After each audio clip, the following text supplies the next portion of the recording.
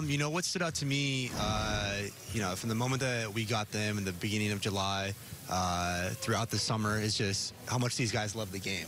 You know, they're obviously extremely talented players. There's a lot that comes with them. You know, a lot of people talking about a lot of uh, attention, but all in all, when it boils down to it, these guys are just hoopers, and they just love the game. They love the process, the work.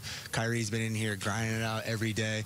Uh, KD obviously can't play, going through his rehab and all that stuff, but they've still been a part of everything, uh, you know, team related. Which, um, you know, guys of their stature, they don't even have to do that. You know, they could show up to training camp uh, tomorrow. That could be their first day reporting, you know, but they've been bought in from the moment that they become a part of the Nets organization, um, and they've been wanting to get better, compete, making sure they're doing all the right stuff. And uh, like I said, end of the day, these guys just love the hoop, they love the game, um, which is the biggest takeaway for me, which I find is awesome. Ryan said it. You've had a busy summer. Um, just take us through your experience with Team USA and the things. I mean, considering what you accomplished last season, how this summer will help take you to even another level as you enter this next season. Yeah, it was an unbelievable experience. Um, you know, long, long summer. Uh, we were a part of the USA experience for 50 plus days, so you get to know know all the guys pretty well, know all the coaches well. But you know, all in all, from individual sort of development standpoint, uh, you can't help but get better in that environment.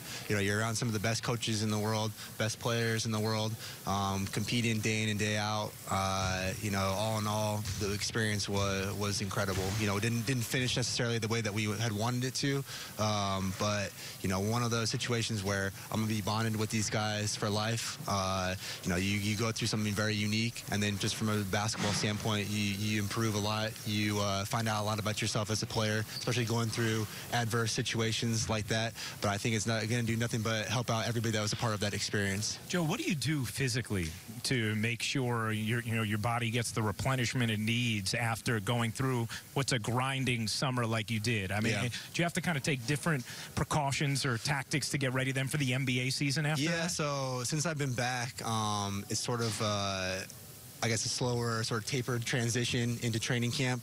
You know, a lot of the guys have been in here uh, sort of ramping it up to get ready for training camp, um, playing five on five, three, four times a week.